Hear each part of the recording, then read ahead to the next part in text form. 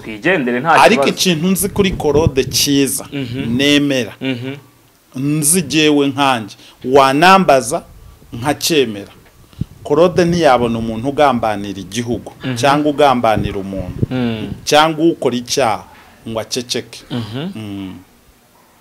hari abantu bamwe benshi ashobora kubona umuntu ugambanira igihugu. Akigira ntibindeba. Akabona umuntu ukora ibintu bigambanira umuntu ngo apfe amuroge akora icyo akagira ntibindeba. Ariko korode we icyo muziho na- nagira. Muri mu- u rwanda rukeneye abantu ba- barwanya icyaha n'abantu bashobora gutanga amakuru. Eh, urumva. So rero umuntu yari ntibindeba icyo gihe kiba ari ikibazo gikomeye. Twikomereze na kano ka kabiri Mm. kare kuri imiriro yawe yose hanze ariko Oya. bicera ibinyoma byawe baza wumvise uriya ni umwana wavutse ndi ku isi urabyumva neza uriya ni umwana wavutse ndi ku isi amashanyarazi ndetse n'umubare mugabo nyamugabo iyi si inyandiko ya ya mutwara se ubu se byari bikwiye yahawe kamarade inyandiko kandi ntabwo yahawe umugore we ariko aho ngaho banza ugafungemo eh, banza ugafungemo none si iyo nyandiko yo bavuga ni iyihe? Niyo y'insobanuro kamarade yahawe na mudugudu. Ivuga iki? Ni- ni ho duteganyije kumva. Reka tube tumve hose havire mu nzira rimwe. Dukomeze twinjire mu dusenguzi nkawe waje hano? Ndagira ngo nkumvishe nawe wumve. Ibyo nza gusobanurira tube turi ku rwego. Nawe uri buze kumva. impamvu ntashaka. Mm. ndashaka we nk'uwabyumvishije. Sinshaka amajwi y'abantu hano. Muri muri jewe we rero aposo kuri youtube Eh, ni byiza ko ubanza yes reka mbasuze nongere mbekaze mbifurize amahoro y'imana aho muherereye hose ku isi mu gitondo nkwifurize igitondo harimo nimugoroba nkwifurize kugira umugoroba mwiza. Iyi ngiyi ni zamuka tv ndetse na eni kuva tv umunsi turi kumwe na aposo ntambara. Innocent. Muraho Narindi- neza aposo? nari ndimo ngutunganyiriza mikoro. Eh, ariko abantu ko turi kumwe na successful. Bo- wizanamo iby'urusengero. Uza kumbwira wambwiye Mm. ngo ugiye untumiye nk'umutumirwa witwa aposo ntambara inosa satade Mm, Eh, koko iby'urusengero byo ntiwamenya niba ndufite niba ntarufite. Mm. Eh, urarufite njye ndabizi. nta kibazo. Mhm. Mm, inkuru ukuntu imeze rero. Eh, twitangire reka mpere ariko wari wavuze ngo abantu mbasengere. Harya? Ntabwo wabasengeye? Nta- ntabwo nari nakabasengeye. Mm. Mm. Reka maze turagize imana nta kibazo dukomeze. Ikiganiro. Urakoze cyane. Mana turagushimye ko kuri imana yo gushimwa. Uri imana yo guha icyubahiro. Mwami tuguhaye icyubahiro hano mu rwanda mu mahanga no ku isi yose mu izina rya yesu. Amen. Mm. Eh, aposo reka nitangire ikiganiro gutya. Mhm. ngo ingo zikomeje gusenyuka mu bakirisitu banyu ariko.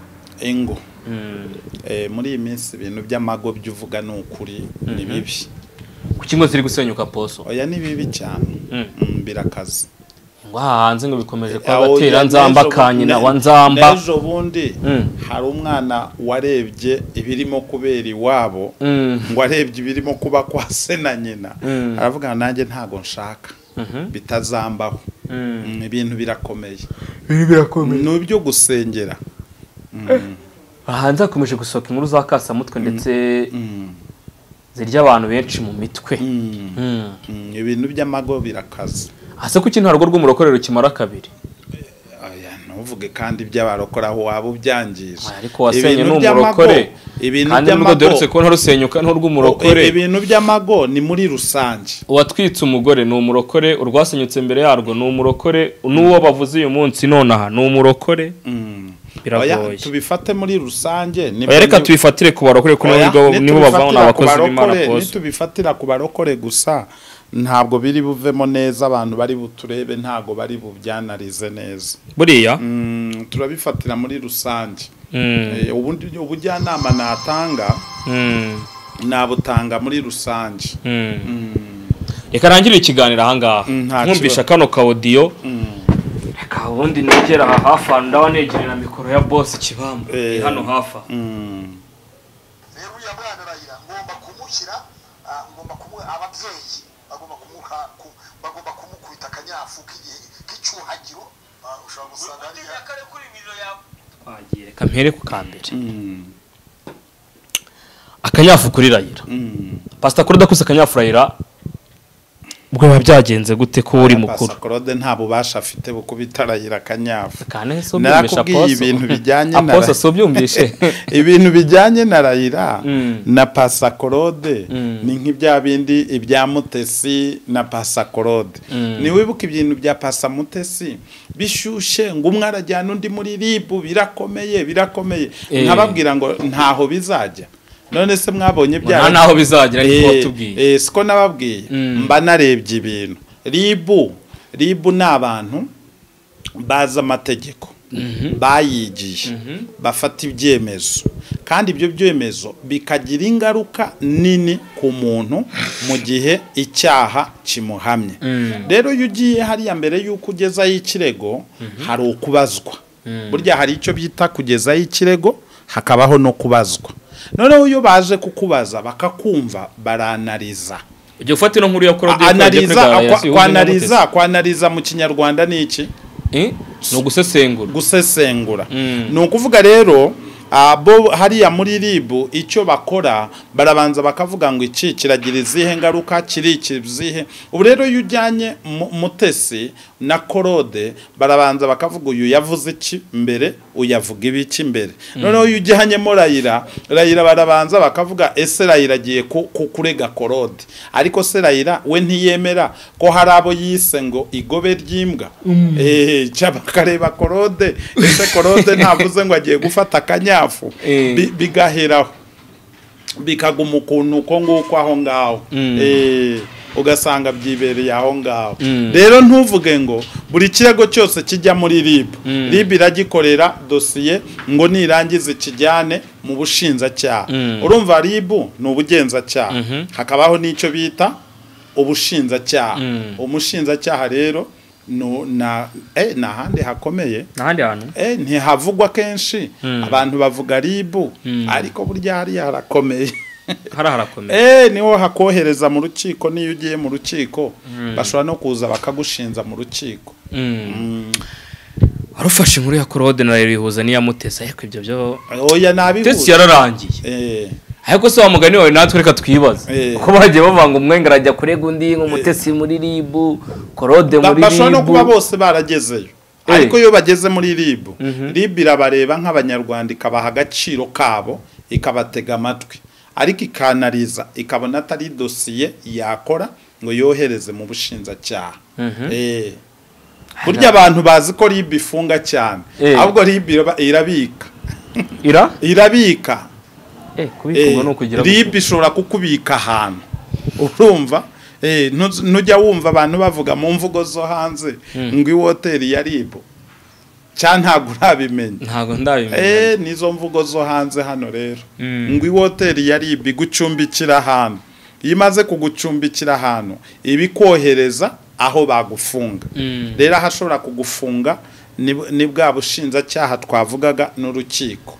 Uko ari habiri. Eh, uko ari habiri. Kuko burya rib igira ifunga ya mahoteli bavuga yabo aho bagucumbikira bavuga ko ari iminsi nk'itatu. Mm. Eh, iyo bikirimo iperereza bishobora no kwiyongera. Eh Eh, noneho yarangiza ribu ikakohereza mu cyo bita ubushinjacyaha Mm. ubushinjacyaha nabwo bushobora kugu- kugufunga iminsi irindwi cyangwa ikiyongera Mm. noneho iyo burangije bukohereza mu cyitwa urukiko urukiko rero rwakurekura cyangwa rwagufunga Mm. bitewe n'icyaha wakoze n'amategeko icyo avuga kuri icyo kintu uba wakoze. Mm. Eh, ubwo rero ibijyanye na rayira na, na, na pasita korode Mm. um, cokora mbere bigitangira. Mhm. rayira yari afite ibishobora kumufunga. Eh bivuye he? Eh, uzi kwita abantu igobe ry'imbwa? Bareba uwabanje. Ehe bareba uwabanje. Ariko nyuma y'abantu banarije barareba aba bantu bose baba muri za youtube. Mm. eh, burya izi youtube tuzanamo. No- n'ubu wowe reka nkubwire wowe wazamuka yego ndakumva cyane aposo utagira ngo uranyubaka. Ndakubaka uyu uje nkaguha ibiganiro ndabyemera. Ariko ntago uba unyubaka nuzi ko bajya bavuga ngo murebe wa mupasiteri wo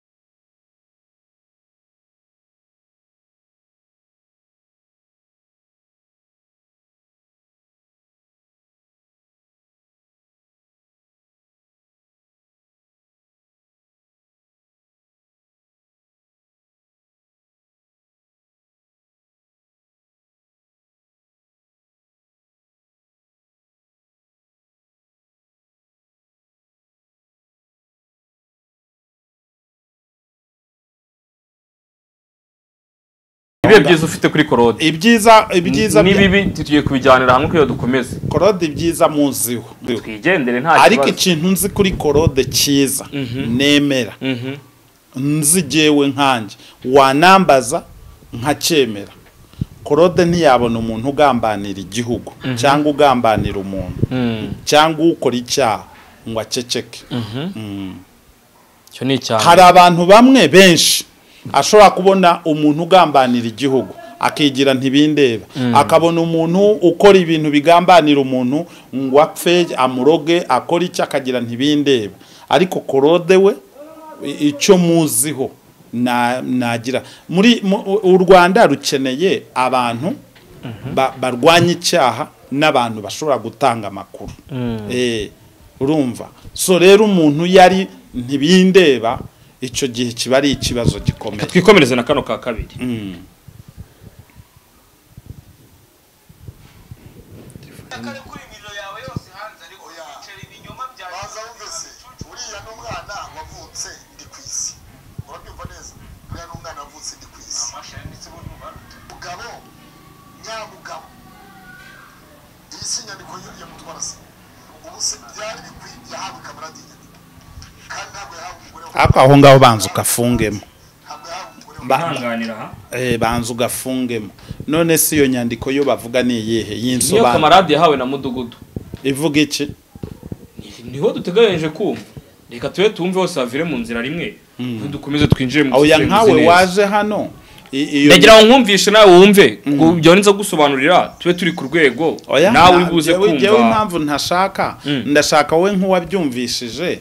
Sinshaka amajwi y'abantu hano. Muri muri jewe we rero aposo kuri youtube. Eh. Ni byiza ko ubanza ukumva kano kantu ka nyuma kagasoza tukomeza nkakubwira ukuntu nabyumvishe eh kamarade yari akwiriye gufata ibaruwa n'iyi akayigeza mu itangazamakuru biruse urabona ibintu bya agatero wowe ufata kandi nyuma ikintu gishobora kuba cyatumye umugore we yahukana. Mm. eh umugore wa kamarade yamu yahukanye. Yibye mu nzu ibintu byose yabimazemo. Ko niko kamfata umugongo Mm, aposo twikomereza Mm. ndabona hano banyihereye agafanta. Ka soda. Apeti. Mhm, twikomereze. Eh, wanshizemo ndimo kunywa? Oya ntabwo nabura gushyiramo agafanta se hari ikintu gatwaye. Mm. Mm, ahubwo ngera usomeho. Nongere? Mm. ngera usomeho. Mm. uriya mushumbi yanywa agafanta ntaribi ariko ngo basomaho mu kinyabupfura. Niko mbikoze? Se niko bikoze uretse ko ko hari abandi mu kinyabupfura? Eh. bagira gutya. Eh, uzi gutyo icyo biba bivuze se? oya ntabwo nigeze nimyoza. barebe mikoro yanjye reka nongere. Fanta irahari nanjye ndahari. Eh. do ni gutya ni ukuvuga mu kinyabupfura. Eh, oya mu kinyabupfura Eh. ukuntu bigenda. Eh. ni ukuvuga wirinda kunywa. Eh. ukerekana aka kantu ka. Kamanuka. Eh, mu kinyabupfura wirinda kunywa. Ngo wasame cyane barebe amenyo n'ishinya. Wasama. eh ngo twikomereze abantu barebe ishinya n'iki? N'amenyo. Mm. Eh, twikomereze ikiganiro ah, cyacu tutarakomeza nyweye neza. Unyweye neza. Mm. kandi uri kunywa n'ibintu byiza. Kubera yuko Mm. buriya youtube ntukayikinishe. Irusha televiziyo. Utinya youtube? Eh, ubu abantu barakureba ubusa abanyaburayi ntibagiye kundeba abakomeye aboroheje abantu bose. Wasanga batanakureba nta wamenya. Oya barandeba. Ha uzarebe kuri zamuka cyangwa eni kuva Mm. ni bwo uzamenya ko batandeba. Mm. ha barandeba. N'utandeba yareba uko unywa fanta mu kinyabupfura. Icyo cyonyine cyatuma ndeba Mm.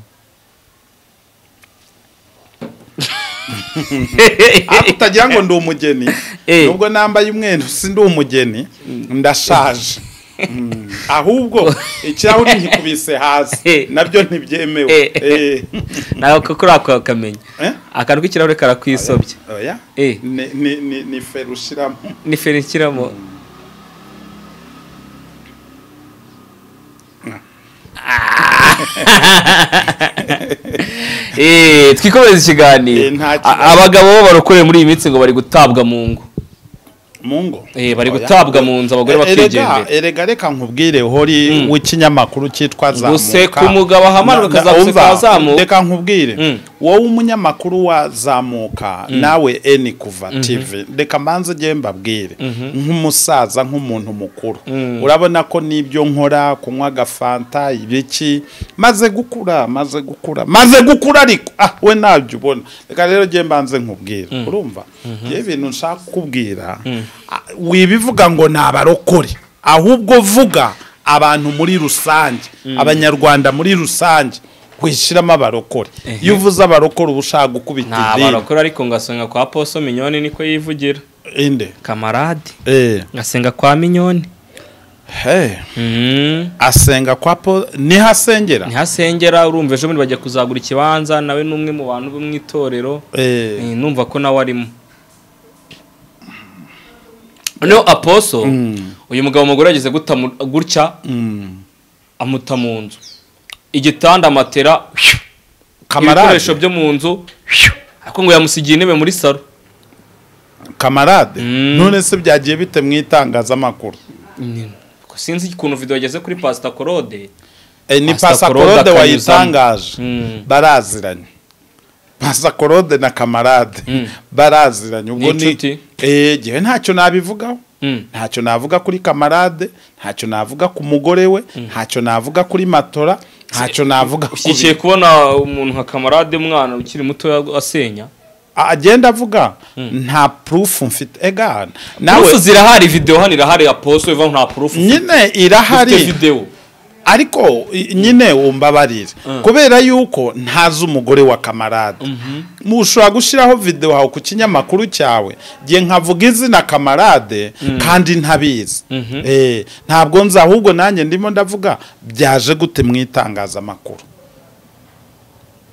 Sinzi wahaye amakuru korode Noneho jyewe- rero reka manze nkwibwirire ariko reka Eh, nkwereke. eh. reka nkwereke mpamagare pastor claude mu kiganiro twumve. Eh, burasa byadufasha? Nta kibazo.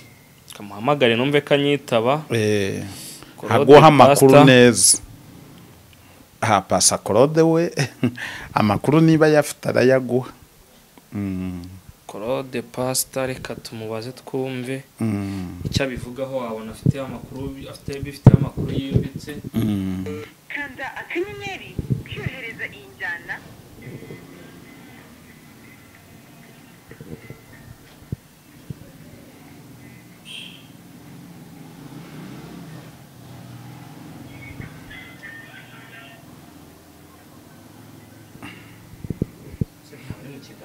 impamvu nari ndetse ngo umuhamagare. Nubwo twakwikomereza impamvu nari ndetse ngo umuhamagare nawe ajya ahamagara abandi mu biganiro. Eh, niyo- utamfashe reka ngire undi muntu mbaza baba bari kumwe baba bicaye. Oya abandi bihorere. Oya, abandi oya mba- mbabarira ni ukuri abandi bihorere. Ngewe amakuru buri burya ntamagare nyiri bwite nta kibazo. Ngewe amakuru nemera. Mm. burya ni aya korode Eh, nta bandi. Kadufata uwitwa nde? Witwa korode. Eh, korode we ni we nemera korode kuko ntabwo ajya atanga amakuru y'ibihuha. Alo intumwa muri mu kiganiro. Pastor ari he wamumayeho gatonya mu minota nk'ibiri ko hari ikintu njye na satani dushaka kumubaza kuri kamera. Mm, eh. Imikwego eh mume muvugisheho gato halo? Halo, pastor wacu mwiza dukunda. We. hmm? Ni byiza turi mu kiganiro na pastor saturday nambara inosa. Ariko wamanuye nta poso na poso nambara inosa. Twari dufite ikibazo kimeze gutya? Twabonye ngo akavido ka kamarade poso na zo tukubazeho kuko kamarade biriya bintu byamubayeho cyane ibya kera ntabwo ari iby'ubu. Ni iby'ubu ngubu. ni iby'ubu ngubu. Mm, Kuko njyewe mfite n'urwandiko rwo mu isibo rwo ku itariki icumi ubwo ni hirya y'ejo. Mm. aho yandikiwe n'umuyobozi w'isibo witwa Louise ah, bivuga ngo raporo y'ubujura Ah, Mutsindashyaka Elize Kamarade umugore babana ngo yatwaye ibintu byose niko ibaruwa ya ya Mutwara Sibo ivuga Eh, none si iyo baruwa ivuga ko umugore wa kamarade yaba yasahuye inzu nk'ibyeze kwa ku muvandimwe umwe mubona akoreraga icya mbere uri kumwe n'intumwa nta n'ubwo intumwa turasuhuzanya. Reka reka nkwegereze reka nkwegereze telefone uvugane n'intumwa.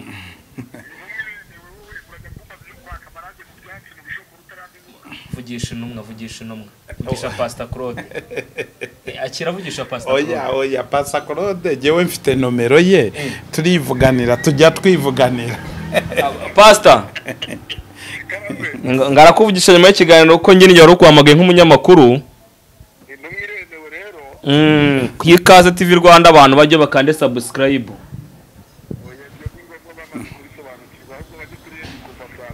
kurushaho Mm.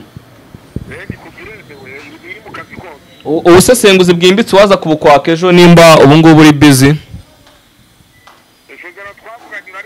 Mm, ndaryibuka ndakubwiza ukuri.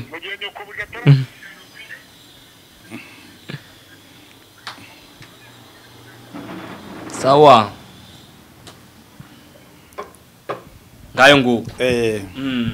eh, ndamwumvishije pasakorode Mm. noneho ubu nanjye uru rugo urumva ngo namutwara sibo yagiyeyo akandagirayo ariko ko numva ngo kamarade ni umukire Mm. aho ntiyaba umugore atwaye bike Mm. niba yatwaye si cyo kibazo se mbona kamarade ngo nta kintu gisigaye mu nzu ndavuga ubwo umugore niba yawukanye agatwara uburiri gusa Mm. ntiyaba yatwaye bike ntabwo hamenya Eh. ubwo kamarade ni we uzaduha inkuru yimbitse ya nyuma. Eh, noneho icyo navuga jyewe muri muri rusange Mm. nigeze kubabwira iby'imana yavuganye nanjye. Mm. ndababwira nk'umukozi w'imana. Mm. abantu nibahaguruke basengera ibintu bitatu. Ubwo buhanuzi sinzi niba mubwibuka ku rugendo tv ariko narababwiye basengere icyo bita amago basengere itorero basengere abakozi b'imana. Mm. amago rero muri rusange ni ikintu gikomeye cyane kiba ku buzima bwa buri muntu. Mm. kubera yuko uba ufasha umuntu ukamushyira mu buzima bwawe bitewe na bibiliya n'amategeko uko avuga. Noneho uwo muntu akaza afite imico itandukanye. Iyo mico ishobora kuba mu mivugire mu mikorere Mm. noneho ugasanga ibyo bintu bizanye icyatuma umuntu avuga ngo mvuye muri urwo rugo mvuye ndetse uyu mugabo cyangwa ndetse uyu mugore Mm. Eh, mu buryo nkanjye ku giti cyanjye nigeze no kubwira abantu ndababwira ngo urugo rubi Mhm. ah, uba wegereye irimbukiro cyangwa uba wegereye genomu iyo wagize urugo rubi. Koko urugo rubi urugo rubi bibiriya iravuga bibiriya ukuntu ivuga ntabwo ivuga ngo mutandukane. Bi- bibiriya buriya yarakwe yahambiriye icyitwa umugore n'umugabo irabahuza ku rwego rukomeye cyane. Yarabegeranyije. Ntabwo ari ukubegeranya ahubwo yarabahu mbese yarabashimangiye cyane. Eh, koko bibiri iravuga ngo ntimuzatandukane. Keretse mutandukanyijwe n'urupfu Mm. Eh, noneho cyangwa kugaruka kwa kirisito Mm. noneho bitandukanye n'ibihugu bimwe njya numva ntabwo nabihagararaho nka za amerika abantu bikorera contract kontura kavuga tugiye kubana imyaka itanu cyangwa imyaka icumi. Niba bikunyuze dukomezanye du- twongere amasezerano. Niba byanze dutandukane. Rero ah, bibiliya yo uburyo ibivuga si nk'ibyo bihugu uko bibivuga. Bi- byo ah, bibiliya ivuga yuko nta kintu na kimwe kibaho kizabatandukanya kugeza kirisitu agarutse. Ariko wajya kureba ugasanga mu by'ukuri kuko njyewe ndi umuntu ukurikira bibiliya. Mm. ntacyo nabivugaho. Mhm. ariko amago muri iyi minsi ntabwo ngiye kuvuga ngo ni ikibazo ariko harimo ibibazo byinshi mu mago. Mm. Mm. aposo ubu leta y'u rwanda ibintu izabikoreye iki? Kumva umugore yawukanye kumva ukumva ngo umugabo ataye umugore mu nzu. Ibintu leta izabikoreye iki? Dore ko wumva hagiyemo na mudugudu.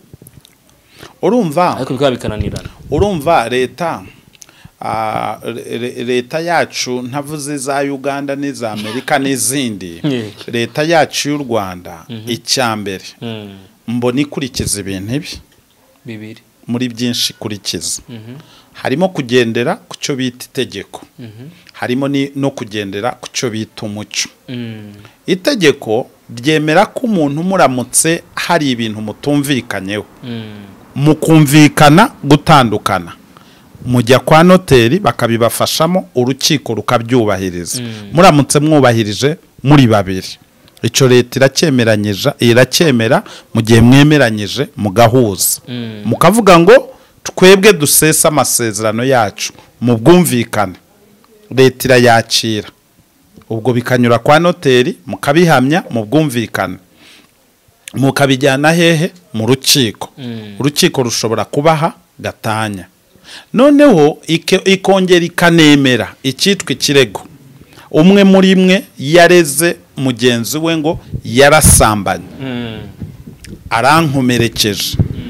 N'ibindi n'ibindi. Birahari ibyaha mujya mubonayo basezeranya ku murenge egizekitifu w'umurenge uko abivuga. Yigisha abashakanye.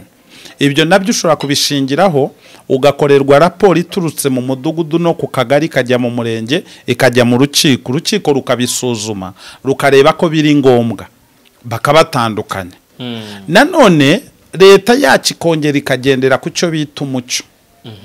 Umuco bavuga yuko mugomba kubana akaramata nka bibiri yuko ibivuga.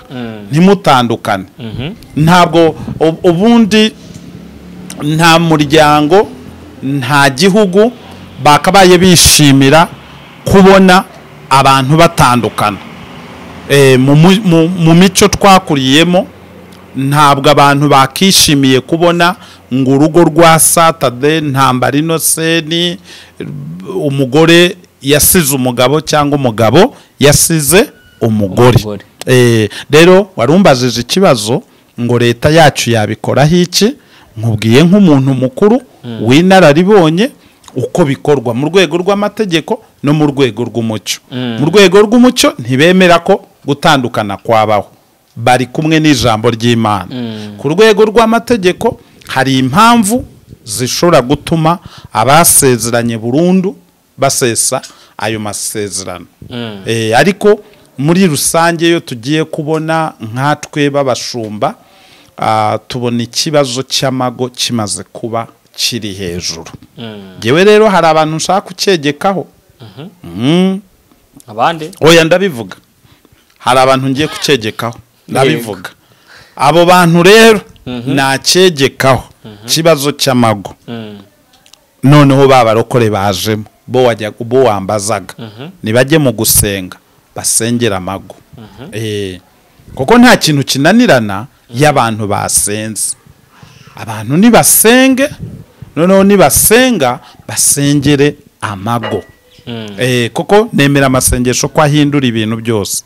Nemera ko abantu baramutse hari itsinda rikajya mu misozi rikajya mu butayu rikajya hehe bagasenga bagasengera amago. Kubera iki? Bibiri iravuga ngo ubwoko bwanjye bwitiriwe izina ryanjye nibwicisha bugufi bugashaka mu maso hanjye bakihana ibyaha byabo. Nzabakiza nimara kubakiza mbakirize igihugu cyabo. Ubwo rero muri ibyo basengera habamo gusengera igihugu bagasengera n'amago. Ubwo rero jye wabo nsabye negetse kuri iki kibazo ni abantu b'ab'ingenzi bakomeze bingingire amago. Naho ubundi ibyo uvuga ibintu by'amago satani yarabyinjiriye. Kandi buriya satani iyo ashaka gusenya umuryango anyura mu, mago. Ho nk'ubu urugero reka nkubwire. Umwana uvuka. N'isi ubundi aposo mbere yo kujya aho ngaho. Ah, kuki abantu bose bakunda kuvuga cyangwa n'abakirisitu nta muntu ujya uvuga ngo uno mugabo yaritswemo na satani ahubwo bavuga ngo abagore benshi nibo baritswemo na satani. Ah, ubundi reka nkubwire. Mm. ikibazo igihe icyo nabwira abatureba nawe urimo. Mm. ikibazo cy'abantu bashakanye. Ntibakajye bareba uruhande rumwe. Umuntu ntakakuganyire ngo umugabo wanjye ni uko ameze cyangwa umugore wanjye ni uko ameze ngo umwumve utarumva bombi. Impamvu ni iyihe? Bakundana ubwa mbere bose barahuje. Urumva? Bose bakoze iki? Bakundana ubwa mbere bose bakoze iki? Barahuje barumvikana. Mm, hari n'ababa barahubutse ariko ngo ari tekinike diru yabahuje. Eee muri iyi minsi. Hari igihe ngo baba baramuguhanuriye utari we impano ariko ibyo bintu ibyo bintu nkunze kubivuga nkunze kubivuga abantu benshi muri iyi minsi ba- ba- bakunze guhanura bakavuga ngo imana iranyeretse ngo uzashaka runaka. Ibyo ntabwo mbyanga. Aha ntabwo mbyanga umuntu uvuga ngo imana iranyeretse ushake runaka. Hari igihe bivamo ibizima. Hari igihe bivamo ibizima ugasanga barakundanye umuntu arasabye babonye umwana mu kinyarwanda babitaga baranga rero no mu rusengero niba hari uwatuma ubukwe bubaho ntabwo ngiye kumurwanya. Ahubwo abo ngiye kurwanya. Muri iki kiganiro. Ni ba bandi bavuga ngo imana iranyeretse ngo uwo mugabo si uwawe. Imana iranyeretse ngo uwo mugore si uwawe. Koko biriho biriho bimaze gusenya amago y'abantu ubundi abantu iyo basezeranye mu murenge bagasezerana mu rusengero bakumvikana bagahuza bakabyara umwana cyangwa bakabyara abana. Nta mpamvu wowe ituma wowe nk'umuhanuzi cyangwa nk'umujyanama yakabaye ituma ujya hariya ngo uvuge ku bana. Kubera bariya bantu iyo basezerana baba barasezeranye ku bana mu bibi n'ibyiza. Ntabwo baba abantu baragenda bakibagirwa ko basezeranye ibintu ibi. Bibiri. Basezeranye ku bana mu bibi n'ibyiza. Eh, aposto mbere kungana ku musozi w'ikiganiro cyacu ku munsi wa gatandatu wa kino cyumweru. Nibwo tuzataha stade amahoro ntabwo tuzabona ibyiza bigize kigali nyabo. Eh tuzongera tubona abantu basusurutse. Iremera hongere hashyuye Eh. nyagatovu hashyuye Eh. kimironko ishyuye aho noneho Aka- gapira wazakitabira nawe tugatahana stade. Da- aho noneho reka nsome kuri fanta. Mu buryo butarimo ikinyabupfura.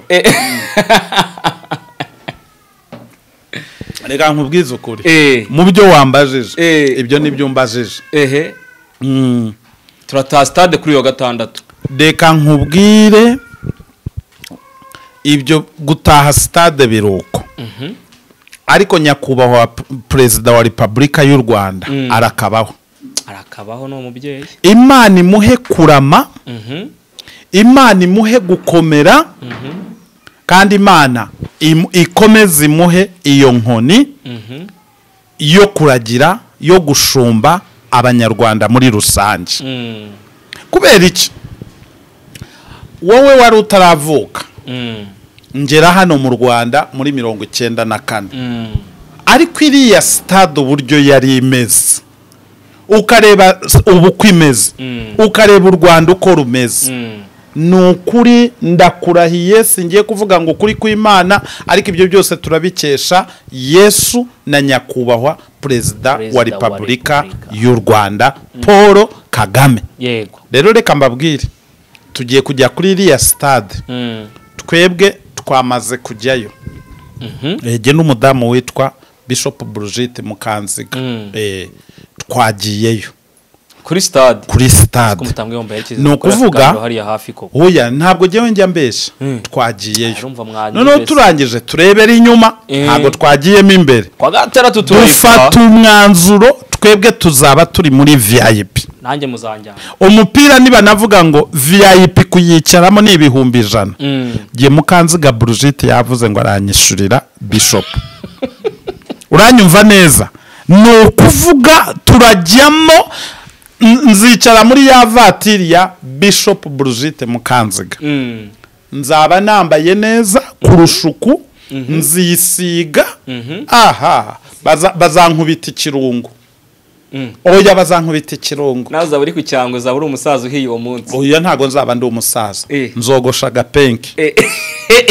hanyuma nindangiza ntereke gutya. Eh. nzaba nambaye inkweto ya. Eh, muzandebe. Muzandebe.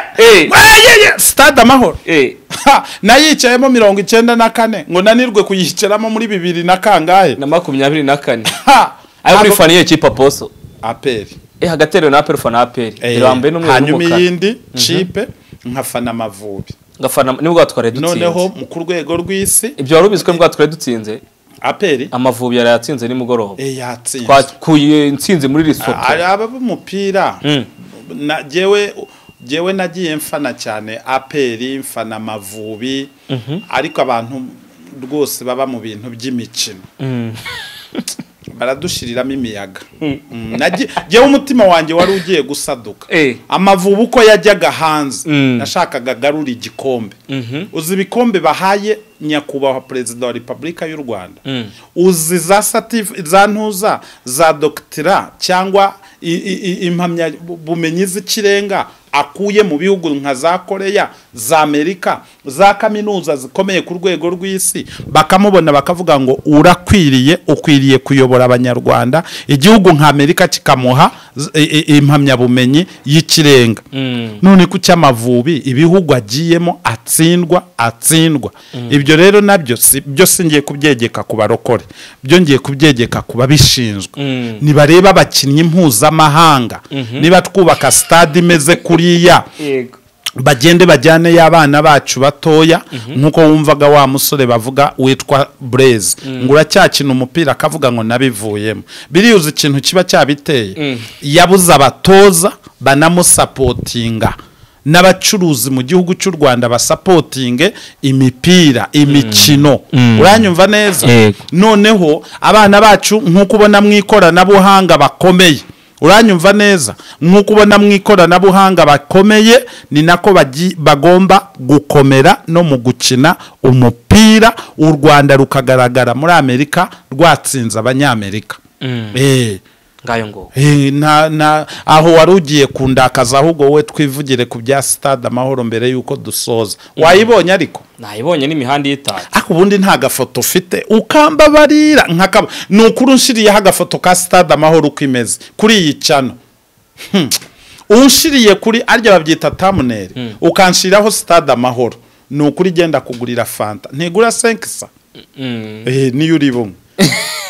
none se ko nta fanta irenza senkisa Eh. Eh, niba hari irenza niyo tuzagura. Mm. Eh, ariko keretse bya bicupa binini ngo bigura niba ari bitatu. Wakimara se wapi ni aka senkisa rero. Mm. kuba mvuze ibindi birahenda. Apostle reka ngushimire. Oya ntuburetse kunshimira. Gira icyo uvuga kuri stade amahoro. Stade amahoro kandi nge uwo munsi tuzaba aya ntago nzaguherekeza wabona ya vip nyine ko nzaguherekeza uzanyishyura nk'umubyeyi. Muri bureze Eh, ariko hano kuri chano zanyu manomero yanyu uko ariho hagira umuntu ubagurira agatike tukajya kureba Eh, oya bazakabagurire nanjye ndabyemeye. Mm. bakabagurire rwose. Mm. bakabagurire mujye kureba umupira. Eh, arya ni itariki zingahe? Ni itariki icumi. Oya. Hazaba ari ku wa gatandatu. Oya ni itariki cumi n'eshanu. n'enye n'eshanu. Oya reba neza ko numva ni ngewe itariki cumi n'eshanu. Z'ukwa kangahe zaza ejo bundi kwa muri uku- kwa gatandatu. Reka mbigusomera poso Eh, kamategeko nabwirwa bisomere koko jyewe tuvuyeyo. Ariko iby'amatariki jyewe nari nzi ko ari iy'amatora Mm, kuri cumi n'eshanu tuzatora umukuru w'igihugu perezida paul kagame. Kuko twese ni we tuzatora. Mm. ni ku gipfunsi. Mm. ko gahunda imeze? Oya ni ukureba hari umukandida wa fpr ku gipfunsi tugatora. Ariko nta bintu byinshi cyane. Eh, abantu bataza kuvuga ngo pasiteri yamamaje ngo yageze ariko urumva nanjye nk'umunyarwanda banyite satade ntambara inosa nanjye umukandida nzi nyine ni uwo wacu uturuka mu muryango wacu. Erega reka mbabwize ukuri. Buri mu- buri munyarwanda wese agira umuryango akomokamo. Hari ukomoka mu w'abazigaba hari ukomoka mu w'abega mu banyiginya mu baki. Rero twebwe natwe turavuga ngo dukomoka mu muryango wa fpr inkotanyi. Rero ntuvuge ngo pasiteri kuki wowe wa- wavuze ngo nanjye nka ntambara inosa uretse ibyo kuvuga ngo pasiteri aha ibyo uba ushakaho urubanza uba ushaka kumfungisha. Eh, ni aposto. ukuvuga buretse ibyo ngibyo tubisubireho. Icyo nari ndimo kuvuga. Abantu nibabona urumva urumva hori hori kutarimo kureba hano. abantu nibabona nanjye mvuga ngo umukandida wanjye ni ku gipfunsi baba ariho batora. Binkinguraho iki intambara ngo satade w'umuporotisiye oya? Ahubwo nanjye nemerewe gutora nk'umunyarwanda ufite irangamuntu. Ubu se urambwira nzasigara mu rugo? Ni ndyamye. None se nzatora nde? Si wa mukandida wanjye mm. e, wankujije wampaye amata. Ampa kwambara umweru. Am- ampera ababyeyi amata abaha amazu abaha igihugu. Abaha umutekano. Uwo ninde? Ninde hori? Kucecetse. Ni nyakubahwa perezida paul kagame. Gutora ni ku gipfunsi. Ndabeshe se? Ntabwo bibeshye apostle Eh. dusoreze ikiganiro cyacu ahangaha. Oya no- banza uvuge ya matariki. Burezi ubwo kujya muri stade amahoro ni itariki n'eshanu. Njye nsabye abazaba bari muri stade bazampe gusengera umukino. Eh. Eh. uravuga ngo pasa satade asabye kanzamura uburyo. Nsabye kuzasengera umukino. Eh, ngeze hepfo gato babona ikiganza muri Mhm. Gutya. Bakizamura ngaho. Eh, nsabye kuzasengera umukino wo ku itariki Sport ku itariki cumi n'eshanu. Ariko ubu se bizakora? Kuko ndi umufana wa peri kuko bizaba bigana. Ariko uzi ko u- uzi ko nanambaye umwambaro wa peri reba aka kantu k'umweru. Urebe n'aka k'umukara. Ikipe Ni- nayifana umunsi babatsinze bizagenda gute ubwo? Aya ntabwo Rayon bazadu Sport izabatsinda oya ntabwo izabatsinda ntabwo izadutsinda. Mm. eh uzabibona. Ninshaka singeyo nzagume ku gakumba nyisengera. Sengera aperi itsinde reka tugushimire dusoze urakoze cyane. Imana iguha umugisha. Shalom.